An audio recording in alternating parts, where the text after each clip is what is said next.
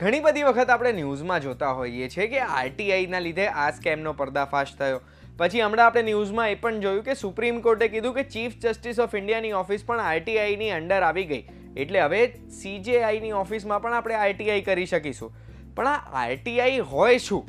ઘણા લોકો હશે જેમને ખબર હશે, પણ આજે આપણે આરટીઆઈની વિશે વાત કરવાના છે એવા લોકો માટે જેમને આરટીઆઈ નથી ખબર. અને સાથે સાથે તમે જો જાણવા માંગતા હોય કે આરટીઆઈ કઈ રીતે કરાય તો ધ્યાનથી સાંભળજો, હું તમને એક વાત કહું.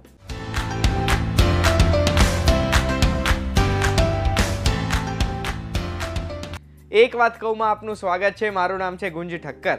Chief justice of India એટલે સીજેઆઈની ઓફિસ આઈટીઆઈ એક્ટના અંડર આવી ગઈ. પણ આપણે આરટીઆઈ શું છે, કેટલા સવાલ પૂછી શકીએ, એમાં કઈ કઈ માહિતી લઈ શકીએ, કોની જોડેથી લઈ શકીએ અને કેવી રીતે લઈ શકીએ, આ બધી માહિતીની ક્લેરિટી બહુ લોકોને નથી હોતી. અને એટલે જ આજે આપણે આઈટીઆઈ વિશે વાત કરવાના છે. હવે એકવીસ જૂન બે હજાર ને પાંચની પહેલાં સરકારની કોઈ પણ એજન્સી હોય, સરકારી કોઈ પણ વિભાગ હોય, કોઈ પણ પબ્લિક સેક્ટર યુનિટ હોય, એ બધામાં આપણે કોઈ પણ માહિતી માંગીએ ને, તો એ માહિતી આપણને મળતી નથી. અને એવું કહેતા હતા કે આ સ્ટેટ સિક્રેટ છે. અને સિક્રેસી મેન્ટેન કરવા માહિતી કોઈને અપાતી નથી. પણ એકવીસમી જૂન બે હજાર ને પાંચના દિવસે આરટીઆઈ એટલે રાઇટ ટુ ઇન્ફોર્મેશન હક છે આપણને માહિતી મેળવવાનો. એ રાઇટ ટુ ઇન્ફોર્મેશન એક્ટ બે હજાર ને પાંચ લોન્ચ કરવામાં આવ્યો હતો.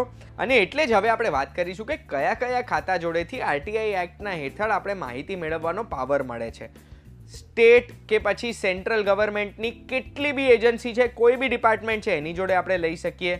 પછી પાર્લિયામેન્ટ છે કે પછી સ્ટેટ લેજિસ્લેટિવ એસેમ્બલી છે એમની જોડેથી, જ્યુડિશિયરી જોડેથી, સિક્યોરિટી ફોર્સિસ જોડેથી, ગવર્મેન્ટ ફાઇનાન્સ કોઈ પણ ઇન્સ્ટિટ્યૂટ છે એની જોડેથી, પબ્લિક સેક્ટર અન્ડરટેકિંગ્સ જોડેથી, બધી જ મિનિસ્ટ્રી કે પછી પોલીસ, આ બધા જોડેથી આપણે એમની માહિતી મેળવી શકીએ. હવે કેવી કેવી માહિતી મેળવી શકીએ? તો એમણે કોઈ પણ નિર્ણય લીધો છે, કોઈ પણ ટેન્ડર પાસ કર્યો છે, કોઈનું પણ ટ્રાન્સફર થાય છે, કોઈનું રિટાયરમેન્ટ થાય છે, કોઈને એ લોકો નોકરીએ રાખે છે કઈ રીતે રાખ્યું હતું કઈ કઈ વસ્તુઓ તપાસ કરી હતી, શું શું કમ્યુનિકેશન થયા હતા ડિપાર્ટમેન્ટની વચ્ચે, તમને જે ડાઉટ પડે છે કોઈ પણ વર્કિંગને લીધે, એ ડાઉટને તમે સોલ્વ કરી શકો છો આરટીઆઈ કરીને, એટલે તમને સરકારી વિભાગની ટ્રાન્સપરન્સી જળવાઈ રહે ને, એના માટે રાઇટ ટુ ઇન્ફોર્મેશન એક્ટ બહુ જ જરૂરી છે. હવે આ આરટીઆઈ કરવાનો ખર્ચો કેટલો થાય? તો તમે આરટીઆઈ કરો છો, એમાં તમારે ફીસ ભરવી પડે અને ફીસ દસ રૂપિયાથી લઈને પચાસ રૂપિયા સુધીની હોય કે પછી તમારે જો અગર વધારે માહિતી જોઈએ છે અને વધારે કોપી કરવી છે, તો તમારે જે એક્ચ્યુઅલ ખર્ચો થાય છે ફોટોકોપી કરવાનો પેપરનો કે પછી પોસ્ટલ સ્ટેમ્પનો એ ખર્ચો તમારે એકચ્યુઅલ આપવો પડે આરટીઆઈમાં. હવે આરટીઆઈ કોણ કરી શકે? તો ભારતના કોઈ પણ નાગરિક આરટીઆઈ કરી શકે, એમણે ખાલી ફીસ પે કરવાની હોય છે. એમની જોડે એક વેલિડ એડ્રેસ હોવું જોઈએ, જે એડ્રેસ એ આરટીઆઈના ફોર્મમાં લખે છે અને એમને કઈ ઓથોરિટી પાસેથી કઈ ઇન્ફોર્મેશન જોઈએ છે, એ માહિતી એ આપે તો એ આરટીઆઈ કરી શકે. આરટીઆઈની ફીસ છે એ પણ બહુ જ ઇઝીલી તમે ભરી શકો કેશથી ભરી શકો ડિમાન્ડ ડ્રાફ્ટ ચેકથી ભરી શકો આઈપીઓથી ફીસ ભરી શકાય કે પછી જો તમે આરટીઆઈના પોર્ટલથી ઓનલાઈન આરટીઆઈ કરી છે, તો તમે ઓનલાઈન પણ પેમેન્ટ કરી શકો છો. આરટીઆઈની ભાષા કઈ હોવી જોઈએ? ઇંગ્લિશ ચાલશે, હિન્દી ચાલશે કે પછી લોકલ કોઈ પણ ભાષા યુઝ થાય છે, એ ભાષામાં તમે આરટીઆઈ કરો છો, તો પણ તમને માહિતી જે તે ભાષામાં એ લોકોનું કમ્યુનિકેશન થયું છે, જે તે ડિપાર્ટમેન્ટનું એ લોકો જે ભાષામાં બધા કાગળિયા કરે છે, એ જ ભાષામાં તમને જવાબ કરશે, પણ તમે આરટીઆઈ તમને જે ભાષા ગમે છે, જે ફાવે છે, એ ભાષામાં કરી શકો છો. આરટીઆઈ કઈ રીતે કરવાની એ હું તમને જણાવું છું, પણ એ પહેલાં આરટીઆઈમાં આપણે કઈ બાબતોનું ધ્યાન રાખવાનું ને એ કહેવું જરૂરી છે. તમે આરટીઆઈ કરો છો ને તો એનું ડિસ્ક્રિપ્શન હંમેશા નાનું રાખવાનું સિમ્પલ રાખવાનું. બહુ એક્સપ્લેનેશન નહીં આપવાના, બહુ એક્સપ્લેનેશન માંગવાના નહીં. તમારે જે માહિતી જોઈએ છે, એ માહિતી લખી દેવાની કે તારીખ પહેલી એપ્રિલ બે હજાર ઓગણીસના દિવસે આ પાર્ટીને ટેન્ડર અપાયું હતું. તો બીજી બધી પાર્ટીના શું રેટ હતા અને આ પાર્ટીને કયા સંજોગોમાં ટેન્ડર અપાયું, એ તમારે માહિતી જોઈતી હોય તો આ રીતે તમે લખી શકો છો. ક્યારે પણ આરટીઆઈ તમારે રિવેન્જ લેવા, બદલો લેવા માટે નહીં લેવાની કે આ ખાતામાં આ અધિકારીએ મને હેરાન કર્યો છે એટલે હું એમને હેરાન કરવા આરટીઆઈ કરીશ, એવું ક્યારે ના કરતા કારણ કે એમાંથી એમની કામગીરીને અફેક્ટ થાય છે. ત્રીજું આરટીઆઈ એક્ટના સેક્શન ફોરમાં એવું લખ્યું છે કે તમે કોઈ પણ ગવર્મેન્ટ ડિપાર્ટમેન્ટમાં જઈને એમના કાગળિયાની નકલ પણ કરી શકો છો. એટલે તમને જો અગર ઇન્ફોર્મેશન જોઈએ છે ને તમારે એ ઇન્ફોર્મેશન તમારી જોડે સેફ રાખવી છે સ્ટોર કરવી છે, તો તમે વિભાગમાં જઈને પછી એની માહિતી બધી લઈ શકો છો. તમને જે જે કાગળિયાની નકલ કરવી છે એની તમે ફોટોકોપી પણ કરી શકો છો. એ ફોટોકોપીના જે પણ ખર્ચો થાય છે, એ ખાલી તમારે ભોગવવાનો આવશે.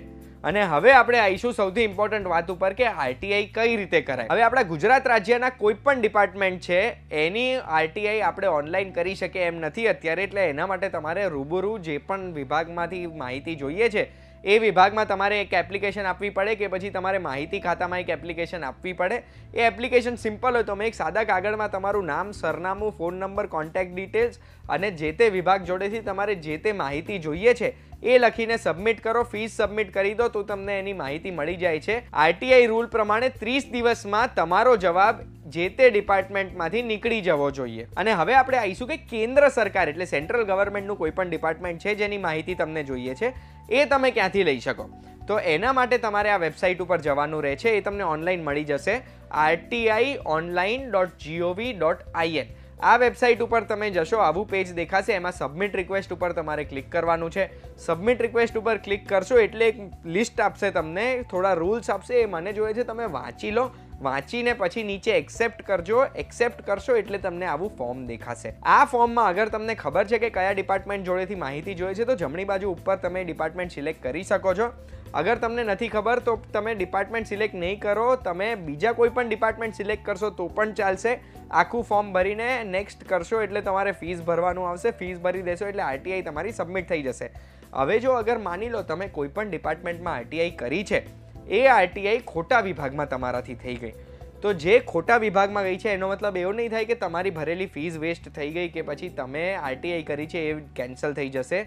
એ જે પણ વિભાગમાં જાય છે, એ ડિપાર્ટમેન્ટના ઓફિસરે બીજા ડિપાર્ટમેન્ટ જે સાચો એ વિભાગ છે, એ વિભાગમાં આપવાની જવાબદારી એ ઓફિસરની છે. બીજી મહત્વપૂર્ણ વાત એ છે કે જો કોઈ પણ આર્થિક રીતે પછાત વર્ગનો વ્યક્તિ છે, જે બીપીએલ કાર્ડ ધારક છે એમણે આરટીઆઈ કરતી વખતે એક પણ રૂપિયાની ફીસ ભરવાની હોતી નથી. એ આરટીઆઈ રૂલ્સ બે હજારને બારમાં એવું લખેલું છે. આશા રાખું છું આ માહિતી પછી તમને જો કોઈ પણ વિભાગની માહિતી જોઈતી હોય તો એ માહિતી તમે ઇઝીલી મેળવી શકશો. અગર તમને ઇઝીલી મળે છે તો અમને જરૂર યાદ કરજો. અમારી વાત ગમે છે તો આ વાત શેર જરૂર કરજો અને બધા જ ન્યૂઝ માટે વી ટીવી ગુજરાતી ડોટ કોમ જોતા રહેજો.